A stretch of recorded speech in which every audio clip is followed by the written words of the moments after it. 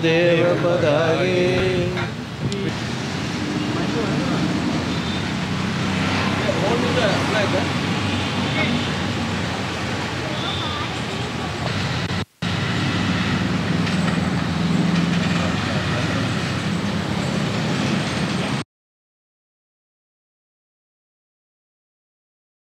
இன்று ஆயிர ரெண்டாயிரத்தி பதினெட்டாம் ஆண்டின் ஜனவரி மாதம் முதலாம் திகதி பௌர்ணமி தினம்.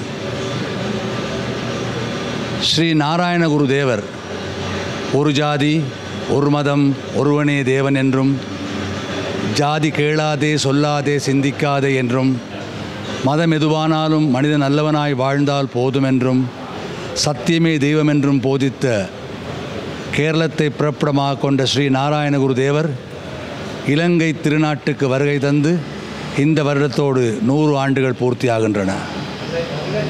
அந்த நூறு ஆண்டு பூர்த்தியை நினைவு கூறும் முகமாக எமது இலங்கை ஸ்ரீநாராயணகுரு சமாஜம் இந்த வருடம் முழுவதையும் எங்களுடைய சமூக சேவைகளுக்காக இல்லாதவர்கள் இயலாதவர்களுக்கு உதவி செய்வதற்காக பலவிதமான நடவடிக்கைகளை நாங்கள் மேற்கொள்ள இருக்கிறோம். மாத்திரமல்ல சிங்களம் தமிழ் மலையாளம் ஆங்கிலம் நாலு மணி போட்டு சுவாமியுடைய ஒரு உருவப்படத்தை அதை நாங்கள் பொறித்து இருக்கிறோம் எனவே ஸ்ரீ நாராயண குருதேவர் முதலாவதாக இங்கே இங்கே வந்தது ஆயிரத்தி தொள்ளாயிரத்தி பதினெட்டாம் ஆண்டு.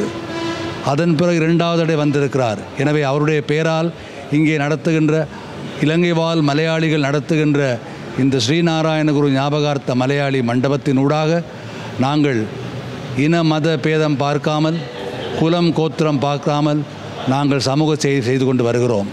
எனவே அந்த வகையிலே இங்கே வாழ்கின்ற மலையாளிகள் எல்லோரும் ஒன்று சேர்ந்து ஏனைய சமூகத்தைச் சேர்ந்தவருடைய ஆதரவோடு நாங்கள் இந்த சேவை செய்து வருகிறோம்.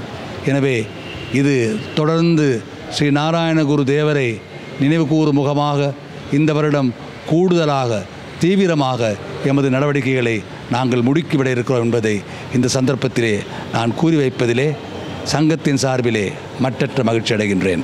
உலகத்திலே வாழ்கின்ற அத்தனை அன்பர்களுக்கும் லங்காஸ்ரீ மூலமாக எமது ரெண்டாயிரத்தி பதினெட்டாம் ஆண்டின் புத்தாண்டு வாழ்த்துக்களை தெரிவித்துக் கொள்வதிலே மட்டற்ற மகிழ்ச்சி அடைகின்றோம்.